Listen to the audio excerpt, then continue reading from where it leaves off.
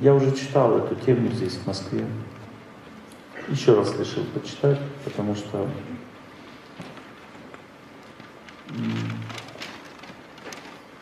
часто люди теряются во время разлуки. Они думают, что это ну, как бы крах судьбы, крах жизни. Ну, то, что мы сейчас видели, те, кто задавал вопрос. Вот. Но на самом деле то, что кажется крахом, является всего лишь следующим этапом жизни. Причем чаще всего этапом, который лучше предыдущего. Потому что Бог никогда нам не дает ничего хуже. Просто есть два способа лучше. Один способ – это дать человеку мудрость, а другом, другой способ – счастья. И чего Бог хочет нам дать вот сейчас с этим разлукой или кризисом, или крахом жизни, мы не знаем. И то, и другое надо принимать с благодарностью. Если Бог нам хочет дать мудрость, значит счастье Он нам не даст. А если Он нам хочет дать счастье, тоже нормально. Но мудрости тогда не будет. Люди в основном мудрости не хотят, они хотят счастья. А Бог в основном хочет дать людям мудрость, а не счастье. И поэтому идет постоянно торговля между Богом и. Они требуют счастья, люди говорят, не счастье, мне не надо мудрости, не счастье. Люди говорят, а Бог говорит, ну чуть-чуть мудрости. Человек говорит, нет, нет, только счастье, никакой мудрости. Хочу только счастья, хочу только хороший период жизни, хочу только хорошего. Не хочу ничего плохого, не хочу напрягаться, хочу расслабляться и так далее. Идет такая война между человеком и Богом в его судьбе постоянно. Не война, а борьба, будем так говорить. Такой вид сотрудничества. Мы заточены на счастье. Вся наша жизнь, вся наша судьба, все, что вокруг нас есть, все мы заточены на счастье. И я в том числе. Каждый человек заточен на счастье. Мы все хотим счастья. Потому что счастье это основа души. Мы вечные души. И мы, душа хочет счастья. Но она не знает, что э, для счастья нужно иметь правильную направленность жизни. И вот это является самой сложной проблемой, которую не решишь просто так. Есть четыре категории людей.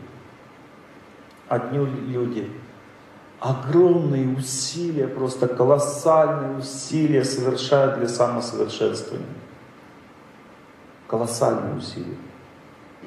Таким людям Бог никогда не дает тяжелых испытаний. Он дает им испытания, но они не такие тяжелые. Он не дает им потерь тяжелых таких. Даже если у них есть потери, Бог им дает знания, почему так. И они спокойно их переносят.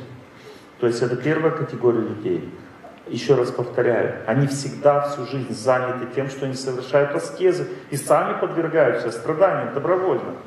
Они отказываются от того, чтобы наслаждаться жизнью во имя развития.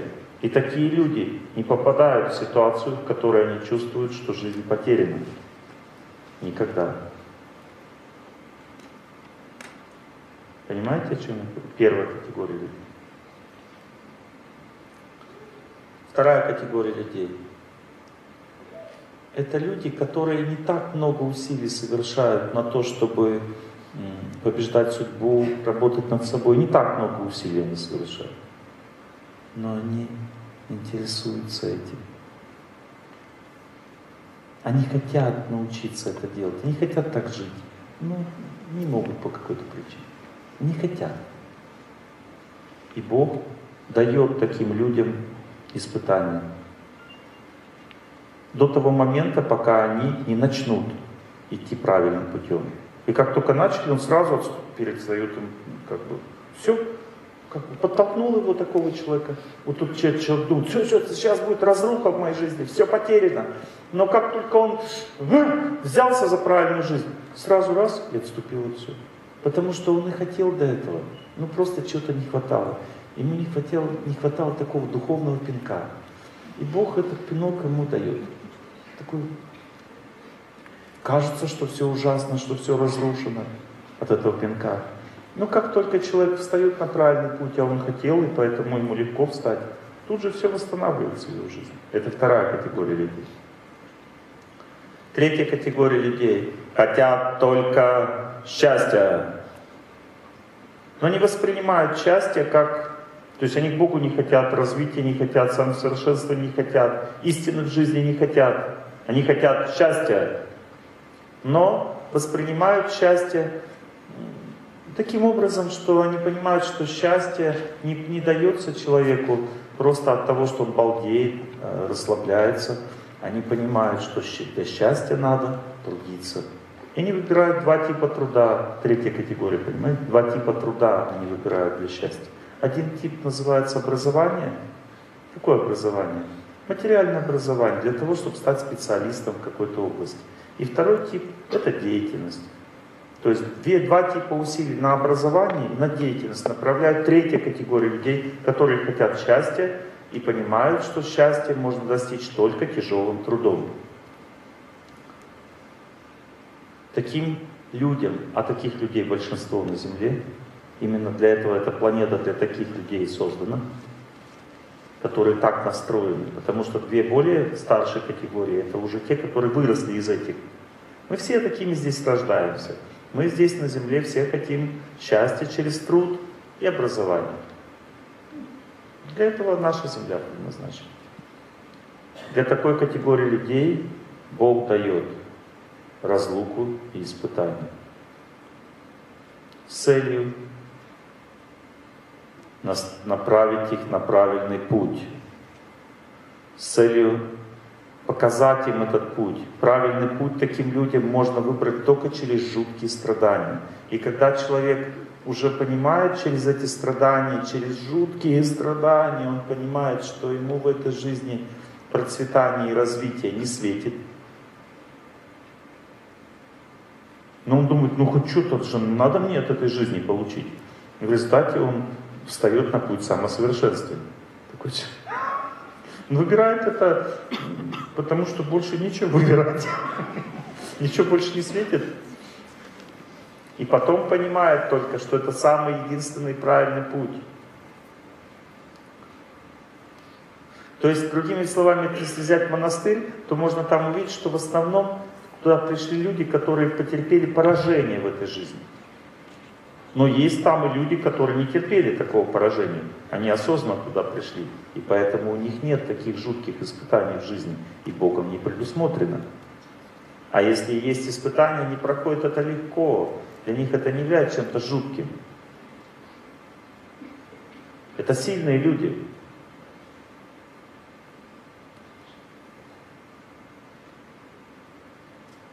И поэтому, если человек живет для того, чтобы где-то все было хорошо, чтобы была работа нормальная, зарплата, чтобы была хорошая квартира.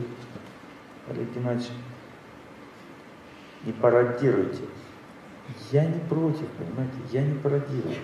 Я не, не насмехаюсь над такими людьми. Это все нормально, это нормальная человеческая жизнь.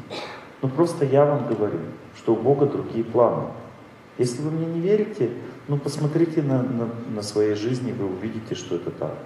Если у вас нет более высоких ценностей в жизни, а только эти преобладают в вашей жизни, а это можно понять по, по тому, чего вы хотите, когда вы ничего не делаете. Вот когда человек ничего не делает, то он что-то делает в это время. И делает его психика.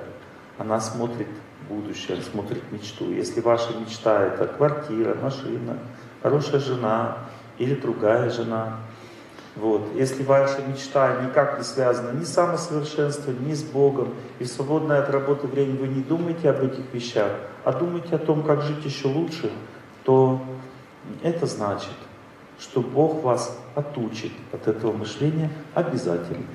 А обязательно уже в этой жизни. И Он принесет такую трудную судьбу в какой-то момент, такую потерю, так, так тяжело будет, что человек отрезвеет. И в этом цель человеческой жизни, чтобы отрезветь.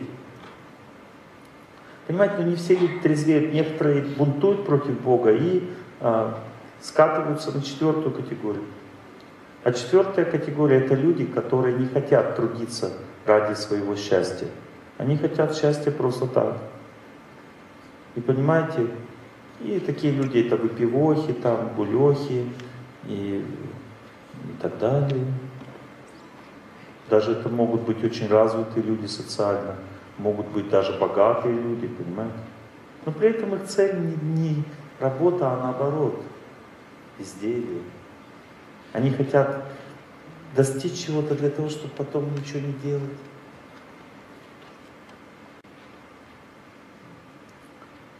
И это четвертая категория людей.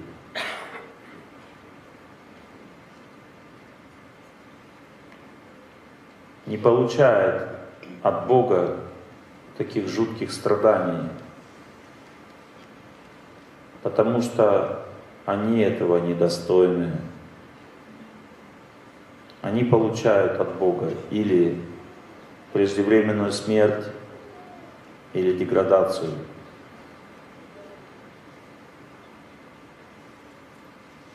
И только если этот человек вот этой категории, который хочет гулять, выпивать и насиловать других ради собственного удовольствия, если этот человек только опомнится, через э, какие-то процессы он почувствует свою гибель преждевременную или еще что-то, тогда в этом случае Бог обязательно ему даст страдания для того, чтобы он созрел как личность.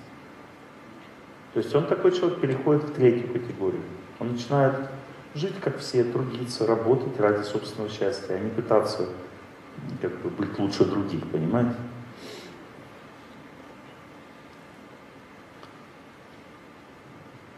Другими словами, разлука и потери, и страдания тяжелые, когда человек перед плитой жизни встает, всегда в человеческой жизни возникают только по одной причине.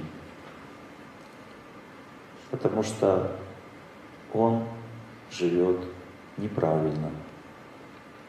Больше никакой причины нет. Потому что когда человек живет правильно, никакая разлука не может ему принести страдания, разрушающие его как личность. Никакое испытание не является для него страданием, разрушающим его как личность. Потому что если у человека правильная направленность, ничто и никогда не может разрушить его, потому что источник его энергии бесконечен. Правильная направленность человека — это Бог. Откуда берутся страдания? Страдания берутся от того, что у тебя нет сил что-то победить в этом мире. Люди не знают, что судьба — это энергия, а победа — это тоже энергия. Вот если у тебя есть силы победить, допустим, болезнь, значит, э, ты ее побеждаешь, становишься здоров. То есть нужна энергия какая-то для победы над болезнью. Эта энергия идет от Бога, в скобках от природы. Если человек знает об этом, он идет на природу и побеждает болезнь с помощью аскезы на природе. Но если человек не знает, он будет мучиться и болеть.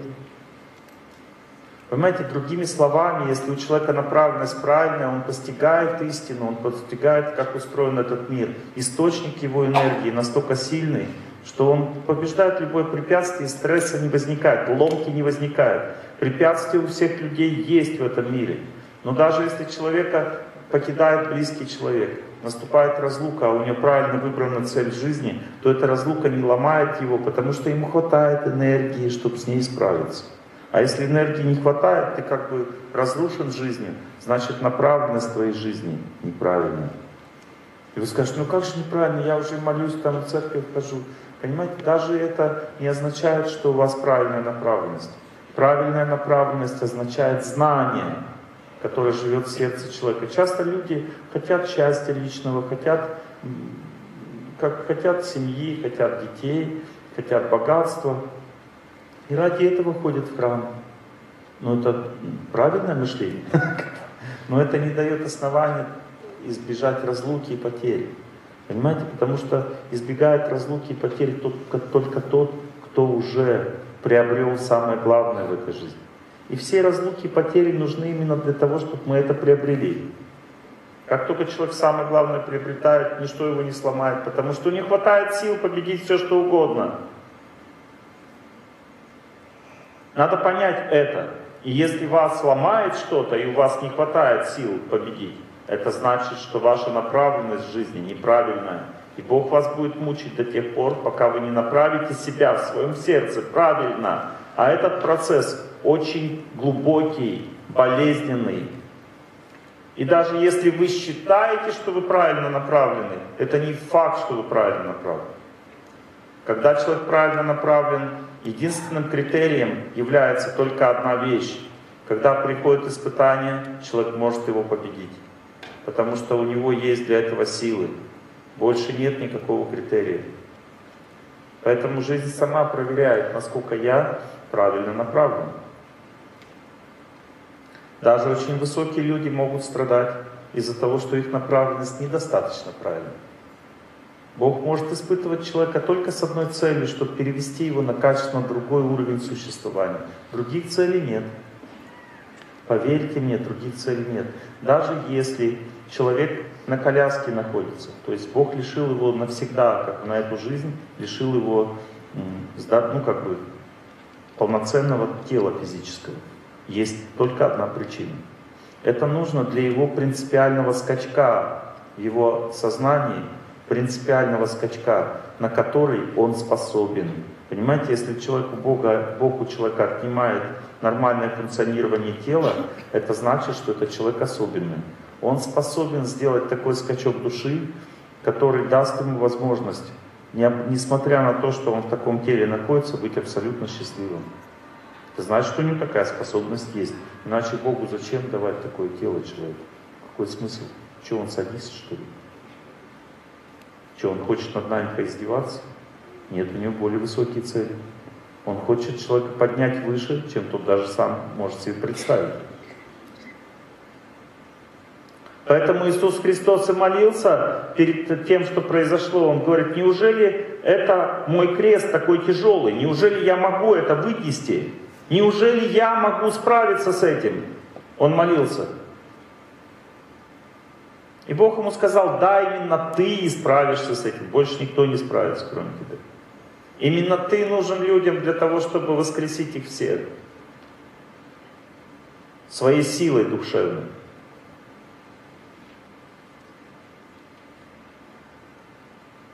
И мы не можем равняться с такой личностью.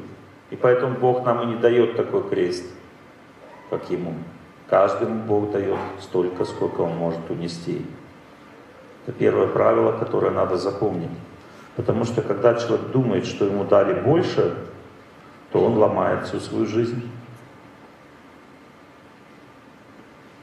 Каждому человеку Бог дает столько, сколько он может унести. Ни капли больше. И это дается для того, чтобы качественно поменялась жизнь человека. Нет другой причины, почему Бог это дает. Нет другой причины. И если сейчас мне еще плохо, значит кардинальные перемены в моем сердце еще не наступили. Вы тогда скажете, а что мне делать, чтобы наступили? Ответ очень простой. Нужно совершать аскезы. Три типа аскезы. Первый тип аскезы называется контакт с природой, движение на природе. Нужно больше двигаться на природе для того, чтобы получить у них силы жить. Вам не хватает силы природы. Ваше здоровье страдает от ситуации, в которой вы сейчас находитесь. Нужно больше двигаться на природе. А если вам холодно сейчас на природе, тогда двигайтесь в спортзале. Потом выходить на природу, вы получите ее энергию. Если человек двигается с радостью, с любовью для всех, то и выходя на улицу, он потом получает от, от природы, то есть природа заходит в него. Энергия нужна для, для жизни, заходит в него. То есть, когда человеку плохо, он находится в стрессе, ему тяжело, первое, что он должен сделать, он должен поддерживать свое здоровье. И для поддержания здоровья существует несколько правил. Первое правило, запомните, здоровье приходит только от природы. И первое, что там надо на природе делать, это двигаться. Когда у тебя достаточно силы, ты уже от природы получил много силы, ты следующее правило – наладь свое питание. Питайся только тем, что дает силу. То, что отнимает силу, не, силу, не ешь. Мясо отнимает силу.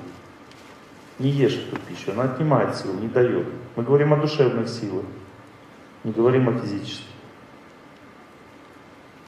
Легкая пища должна быть, возвышающая человека, облегчающая его жизнь.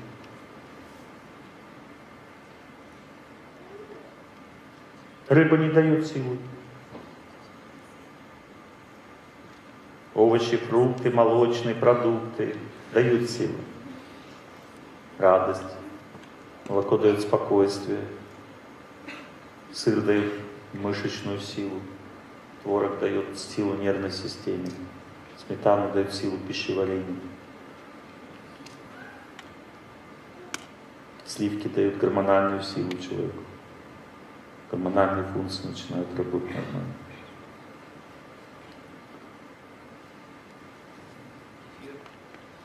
Кефир дает тонус, энергию нервной системе. Все продукты молочные дают силы. Овощи дают спокойствие, они успокаивают человека, расслабляют, которые растут над землей. Корнеплоды, наоборот, дают силу для жизни, то есть они активизируют жизненную силу, дают возможность иммунитета, чтобы работал хорошо пищеварение. У мужчин бесплодие лечится корнеплодами, у женщинам корнеплоды дают возможность не болеть. Листья лечат все воспалительные процессы. Зеленая пища – это пища для здоровья. Если человек болен, надо есть больше зелени, тушеной и свежей. Тогда он становится сильным в победе над потому что зелень уравновешивает все виды энергии в организме. Чем больше зелени, тем больше здоровья.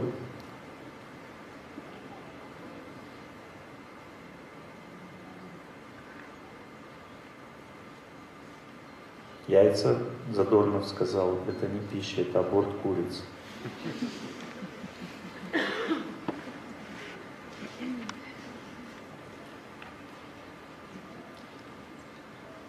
Мои хорошие, вы пришли туда не к тому человеку, который что-то может запретить. Вам все можно. Я вам рассказываю, что, что дает. Ну вот, вот, допустим, если вы плаценту едите, что это вам дает? Ну, что это вам дает? Кто спросил про яйца? Плаценту едите, что вам это дает? А? Правильно? Да, это сквернение, правда? Да. Так яйца это то же самое. Ну, только вы этого не знаете, вы не, не понимаете. Это более глубоко. Когда человек что-то кушает, он не понимает, что это дает. Когда перестает понимать, ну полгода надо где-то, чтобы человек начал понимать, если он что-то не кушает. Фрукты дают человеку оптимизм, жизнерадостность, повышают его энергию, лечат депрессию, возвышают психику, делают ее счастливой, радостной. Они связаны с солнцем. Зерновая пища дает силу мышления дает энергию, способность много трудиться, умственная труда совершать много. Зерна, зерновая пища. Мед дает человеку оптимизм. Ягоды снимают напряжение, расслабляют человека. Овощи расслабляют, делают, дают покой, а ягоды дают э, снижение усталости во время работы и очищают организм от токсинов.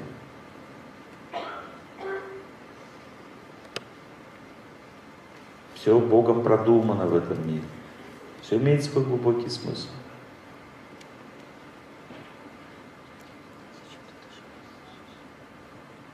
Но надо его пытаться понять. Если человек есть все подряд, говорит, а как бы Современная наука считает, что мясо это самая полезная пища. Ну ешьте тогда мясо. На чем вы основываете свое знание, то и ешьте. Если вы считаете, что пища это белки, жиры, углеводы, на этом основана современная наука, то эта платформа мышления называется телесная концепция жизни.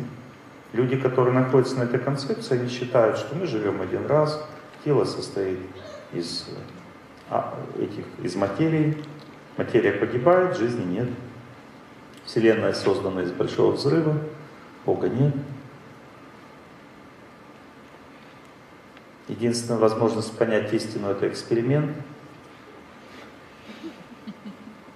Я вам рассказываю позицию мышления, которое называется телесная концепция жизни.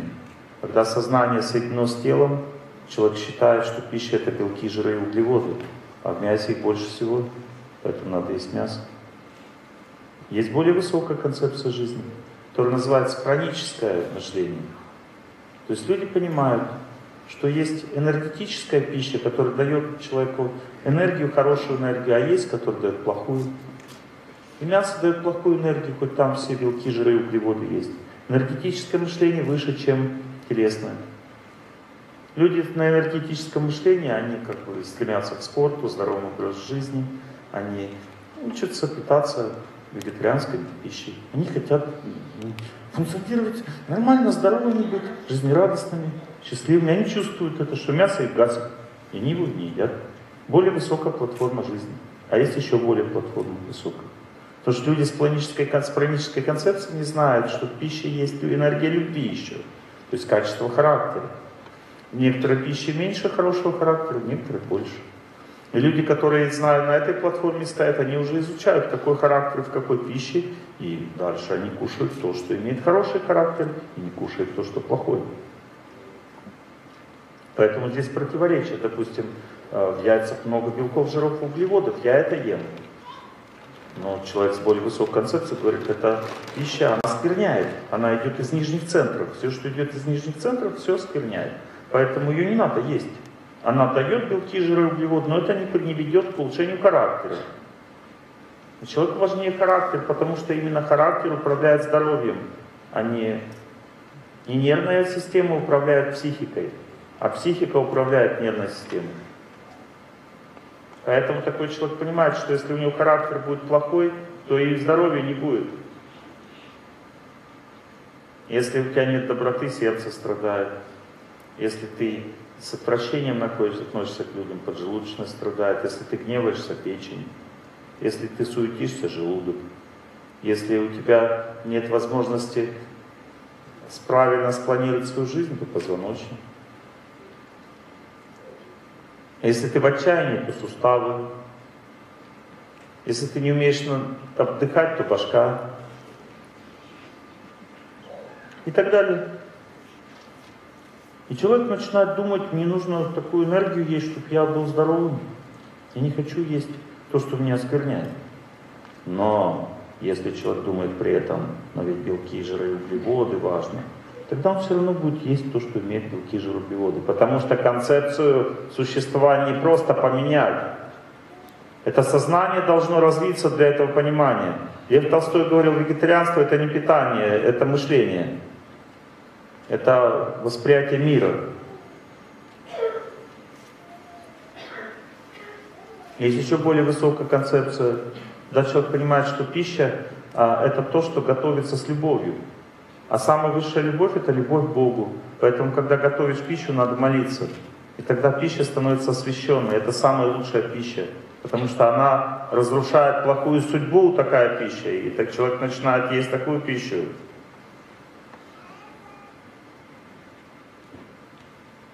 уже не освященную не ест в этом случае. Это еще более высокая концепция. Теперь вы скажете, Олег Геннадьевич, все, я поняла, у меня самая высокая концепция. Приходите домой, муж говорит, он в обморок падает. Почему? Потому что кроме концепции жизни есть еще судьба. Бог говорил, ты жила так, сразу по-другому я тебе не дам. Я тебя еще испытаю твоими родственниками. Ты не сможешь быстро к чистой жизни прийти. Потрудись, стань смиренным. Сделай так, чтобы все приняли тебя, если ты все поняла больше. Не все так просто. Итак, вы скажете, я нахожусь в разлуке, в потерях, у меня стресс, что мне делать? Как мне выкарабкаться из него? Да, конечно же, на природу, Конечно же, бег, конечно же, зарядка, гимнастика, птички, радоваться лесу, желать всем счастья. Конечно же, это вам даст силы для того, чтобы побеждать судьбу. Но победа над судьбой придет, когда ваша концепция жизни поменяется, а это не дешевая вещь. Только когда вы поймете в сердце, что Бог для вас самое главное, тогда злая судьба отступит. Если вы сдаете именно этот экзамен, который называется разлука, потери и безысходность, и такой экзамен Бог человеку в жизни дает только один раз.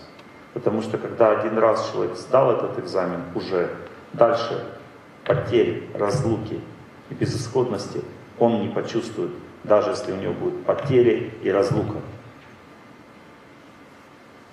Человек будет разлучен, но не попрод судьбой, потому что он свой экзамен сдал. У него хватит энергии и сил, чтобы не просто победить себя, а также помочь тем, с кем он разлучен.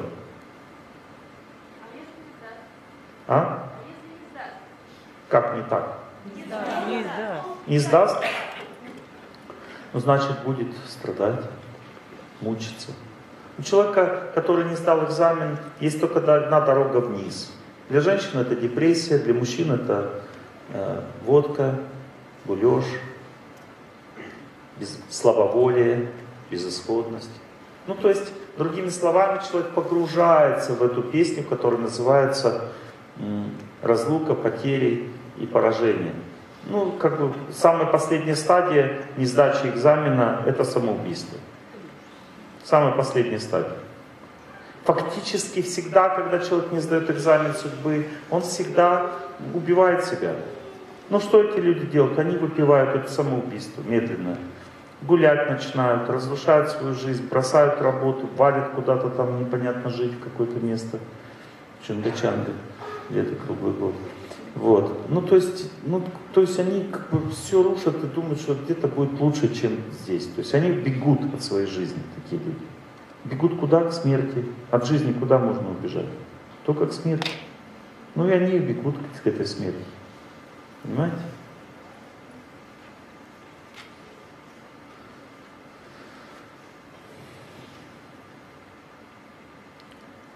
Вот. И это значит, что нет другого выхода, мои хорошие. То есть выход только один – это сдать экзамен. А сдать экзамен означает нужно энергию Бога, ну, получить энергию Бога. То есть сдать экзамен можно только с помощью энергии Бога.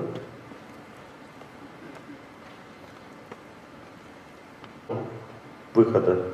Не нашел энергии, которая лечит, не нашел Бога, не нашел храма, не нашел молитвы, не нашел святости, не нашел чистоты, не нашел святых мест, не нашел святой чистой воды, не нашел крещения, не нашел э, своей веры. Значит, душой будешь старик, пока не найдешь.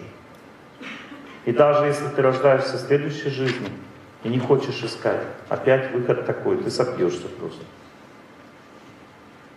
И так до бесконечности, пока ты не захочешь найти. Потому что есть два варианта людей. Одни хотят найти, одни верят, что выход есть, а другие нет. Пока человек не поверит, он будет деградировать.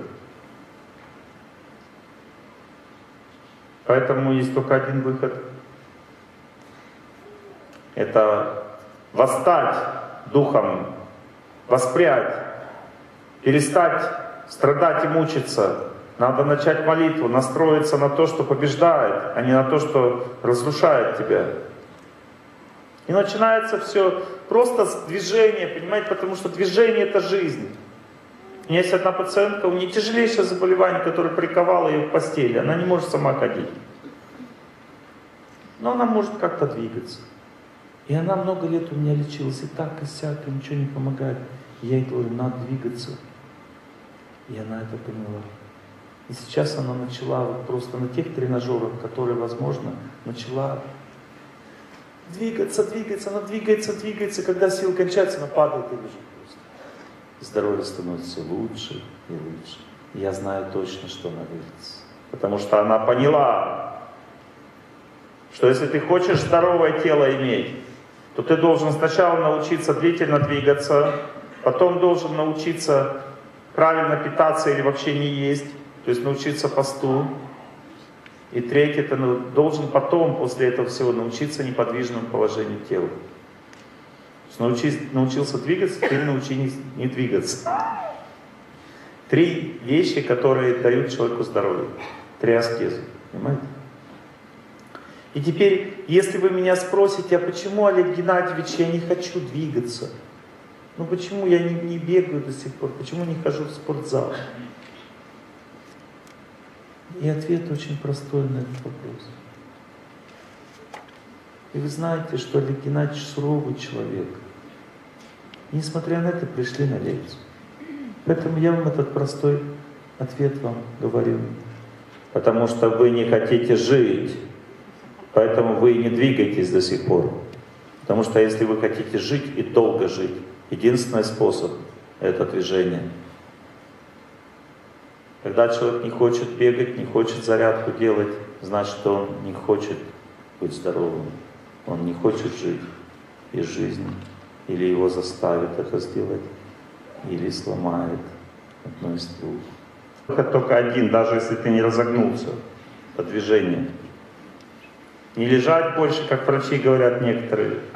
Теперь как бы тебе уже нельзя двигаться, у тебя уже ты не разогнулся уже, теперь лежи, помирая. Нет. Выход только один, это опять двигаться, но только помедленнее уже. Что быстро ты уже не сможешь. Но все равно долгое движение. Долгое движение дает человеку силы жить. И все восстанавливается, если тебе говорят, ну у меня поясница уже грыжа. Не волнуйтесь, она пройдет. Вы начнете двигаться, пройдет. Длительное, спокойное движение с радостью лечит все, что хочешь. Все у нас регенерируется, восстанавливается в организме. У нас организм это не как машина, там колодки протерлись, все надо менять. Не надо так мыслить, понимаете, что у меня суставы протерлись, надо менять, тогда бегать буду. Нет, начните двигаться, и суставы восстановятся. Это моя вам гарантия. Но сначала они будут ныть, болеть. Значит, лечиться. Не бойтесь этого. Не острая боль, а нытье. Организм ноет, значит лечится. Время бега не будет ныть. Ныть будет потом, когда вы прибежали. Значит, тут идет лечение. Итак, стресс, да? Потери жизни. Человек сосредотачивается на объекте своей потери. Он не может о другом думать. Он с Богом решил строить отношения так. Возвращай мне мое. Только такого мужика, как этот, больше никакого.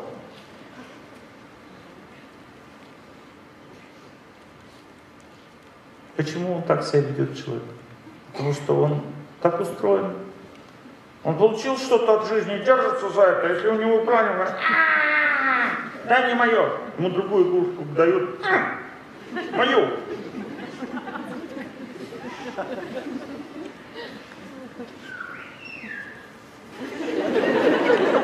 Правильно.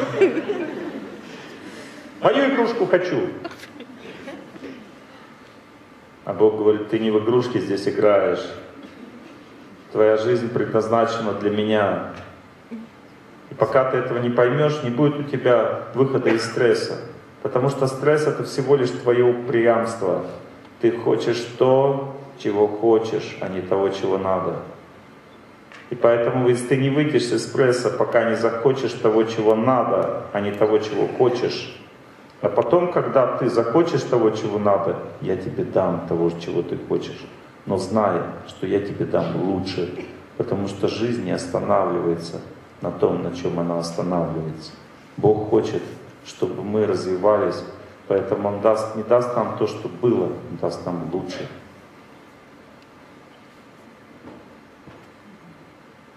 И если вы хотите, чтобы Он у вас никогда ничего не забрал, тогда Выходите на первый уровень. Всегда и везде работайте над собой. Не останавливайтесь, не ленитесь. Думайте о Боге, молитесь каждый день, служите, учитесь жить правильно. И тогда вам всегда хватит силы справиться с судьбой. Если Бог должен будет забрать у вас кого-то, а вы будете сильно Ему молиться, то будет всего два варианта. Или он вам объяснит, почему он забрал, и у вас на сердце будет спокойно. Или он оставит вам то, что хотел забрать. Это значит, что счастье придет по-любому. Или в виде мудрости, или в виде счастья. Поэтому в отношениях с Богом человек ничего не теряет. А если вы чувствуете, что вы потеряли, значит у вас этих отношений нет. И он вас будет мучить до тех пор, пока не появится. Потому что в этом заключается единственная цель человеческой жизни. Ни дети, ни, ни машина, ни Москва, ни работа. Ничего не является целью человеческой жизни. Все меняется. Вы не помните, что было до этого. Таков, таково наказание. Есть такие формы жизни, где, люди, где живые существа помнят, что было в прошлой жизни до этого. Но в человеческой люди не помнят или чуть-чуть догадываются, в лучшем случае.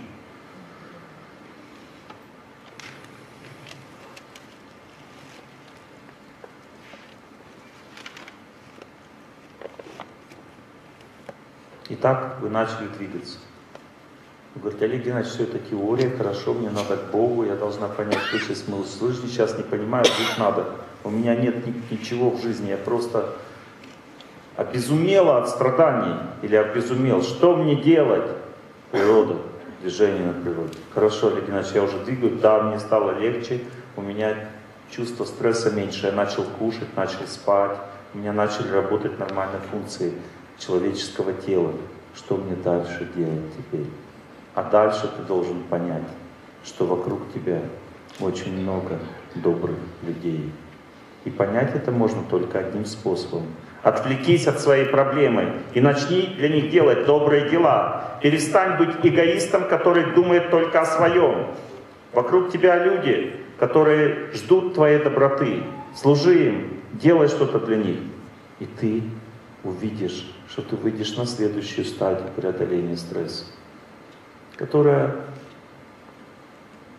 даст тебе видение, что мир этот и был хорошим и добрым, и остался. Он не чужой для тебя. Вокруг тебя есть друзья, есть хорошие люди. Просто ты сам по доброй воле отказался это видеть, потому что ты находишься в упрямом состоянии и требуешь от Бога то, чего Он тебе сейчас ни за что не даст. Потому что если бы он хотел дать, он бы уже давно дал. Зачем ему доводить это такого безумия? Которое называется разлука, потери и депрессия, страдания, разочарование. Идти счастье бегает, счастье бегает. Бог дает счастье, он не жмут. Но иногда забирает, когда надо. Когда надо. Не бойтесь моего взгляда, я и посмотрел не для этого.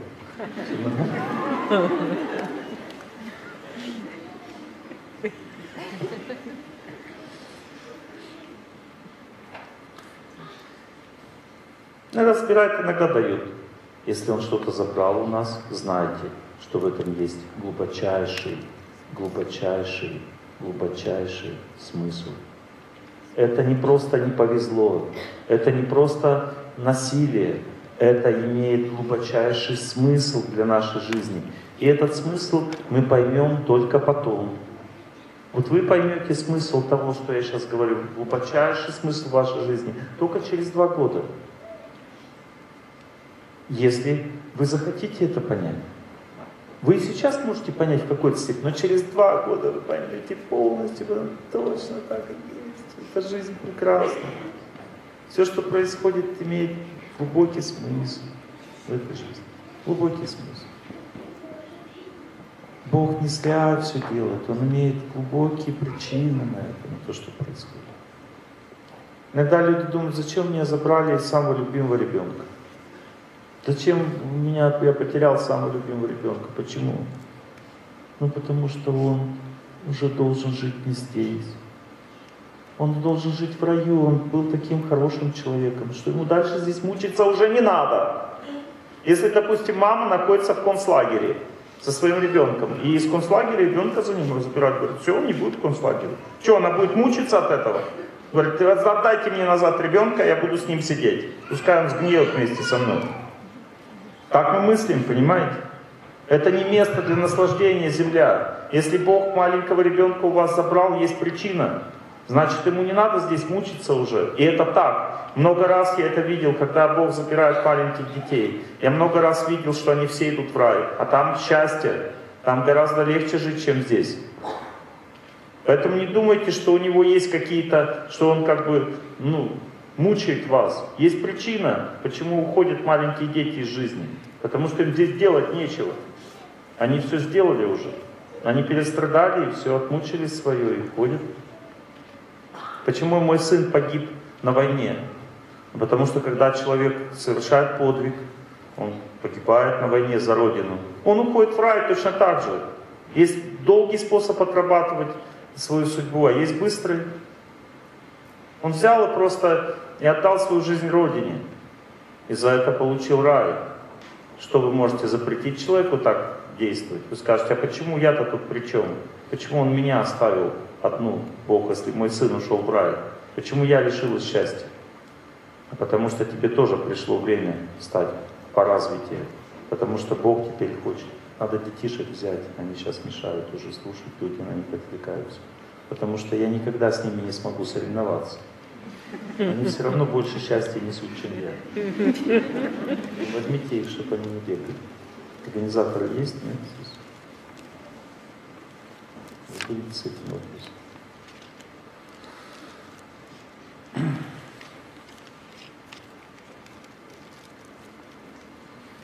Когда человек начинает служить добрым людям, несмотря на то, что ему очень тяжело, мир открывается заново перед ним. Он начинает чувствовать, что все хорошо, все нормально. Но глубокая причина, глубокая причина его страданий от этого не пройдет. Он будет чувствовать себя здоровым, в жизни все наладится, но сердце его будет вспоминать, чего он был лишен и чего он хочет в этой жизни. И вот это и есть дилемма, понимаете, которую надо пройти. Эта дилемма не пройдется просто так. Не думайте, что вы просто так сможете отделаться от, этой, от этих воспоминаний. Ничего не получится, понимаете? Потому что эти воспоминания означают только одно, что экзамен, который вам Бог поставил свой, должен быть сдан очень качественно, понимаете, очень качественно. А качественно его сдать можно только установив сильные, чистые отношения со святостью. И когда эти отношения установлены, вы начинаете понимать, что то, чего вы ждали и о чем вы мечтали в этом мире, это всего лишь капелька по сравнению с тем, что вы получили от своих страданий, благодаря этим страданиям. Что само по себе отношения с Богом настолько радостны, чистые, светлы, что наши как бы мечты, наши потребности вот этой вот этой любви к человеку, они вообще никак не сравнимы с этим. Понимаете? То есть Бог нам дает вот эту память о разлуке только для того, чтобы мы воскресли и получили что-то более чистое, светлое. Знаете почему? Потому что так хочет Бог. Хоть вспоминайте, хоть не вспоминайте. Если вы живете этим, если в вашей памяти это живет постоянно, не повернет, не встретитесь. Невозможно. Почему? Потому что это создано Богом. Он специально лишил вас того, во что вы верили, для того, чтобы ваша вера поменялась. Нет другой причины. Понимаете? Человек должен понять это, должен понять, он должен оторваться от своего счастья. Он должен начать жить для других. Это вторая стадия, понимаете? И третья стадия, если вы хотите реально, чтобы вот эта память о следах своей, своей разлуки, она исчезла из вашего сердца, даже если у вас уже в жизни все нормально, то вам надо очень сильно потрудиться в отношении с Богом. Потому что на самом деле есть только одна разлука, которая нас тревожит – одна разлука, которая нас тревожит, и мы ее путаем со всеми другими разлуками. Мы разлучены с Богом здесь. И поэтому мы путаем одно с другим, понимаете? Но когда мы его вспомнили, когда мы начинаем его молиться, то все остальные разлуки вылетают из сердца, потому что они всего лишь тень этой главной разлуки. И когда мы приобретаем Бога хотя бы чуть-чуть в отношениях с Ним в храме, то тогда никакая разлука не может наше сердце заставить думать о ней так глубоко, как мы думали раньше. Человек выходит на другой уровень жизни, понимаете? На другое восприятие мира. И больше того, если человек реально служит Богу и реально настроен на Него, Богу незачем разлучать его с теми, кто действительно ему абсолютно сильно дорог. Поэтому те люди, которые сильно служат Богу, несомненно, будут жить вместе в следующей жизни. Это описано в Священных Писаниях. Не будет никакой разлуки между ними, они будут вновь и вновь вместе, вновь и вновь вместе, и будут испытывать огромное счастье, верности и любви. Только если они сдали свой экзамен верности и любви Богу. Никто нас не собирался разлучать. Если хотите быть вместе, будьте вместе, сдайте свои экзамены, прежде чем быть вместе.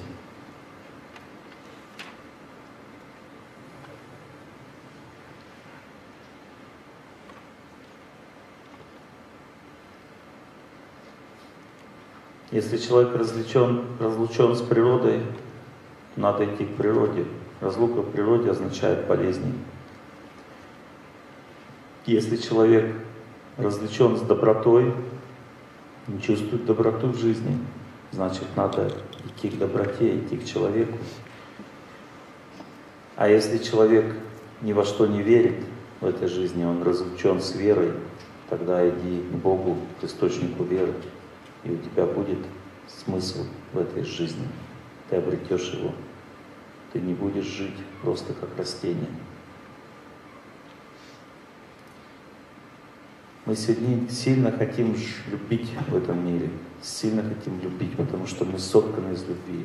Это желание любви сильнее здравого смысла в каждом человеке, неважно, мужчина или женщина. Надо понять, что это нормально, в этом нет проблемы. Просто источник нашей любви слишком далеко от нас, чтобы мы поняли, кого надо любить. Понимаете? Поэтому будем любить своих детей, своего мужа, всех в этом мире. Это нормально. Не надо быть чуркой.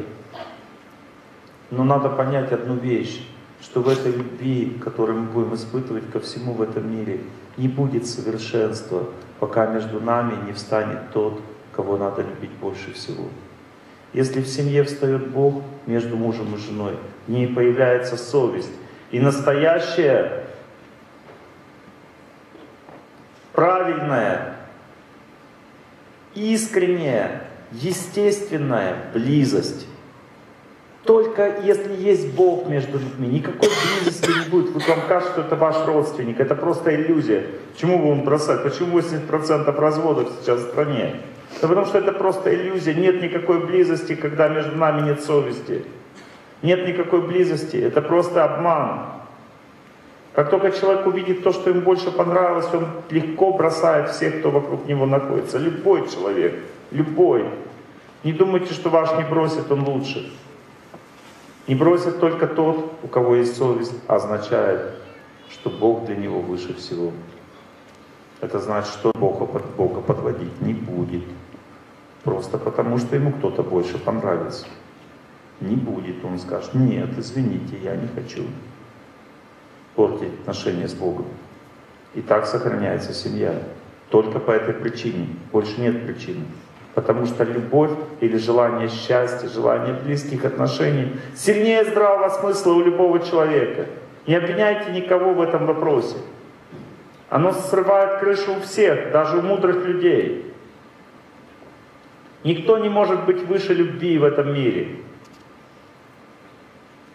И когда мудрец, у него волосы на, на теле стоят дыбом от любви к Богу, он горит от этой любви, он тоже не контролирует себя, зато Бог его контролирует, потому что он любит того, кого надо. Но если мы любим так сильно кого-то, а не Бога, тогда никто нам не поможет. мы будем, несомненно, разрушены в своей жизни. Если человек приходит к любви как вера, то есть есть любовь как наслаждение, как желание, это нормально. Но если человек любит как вера, то есть он верит, то тогда эта любовь будет разрушена. Но если человек верит в Бога и верит, что Бог ему дал этого человека, тогда не будет разрушены. Все зависит от того, какая вера. Поэтому все проблемы там, мои хорошие, находятся. Все проблемы там.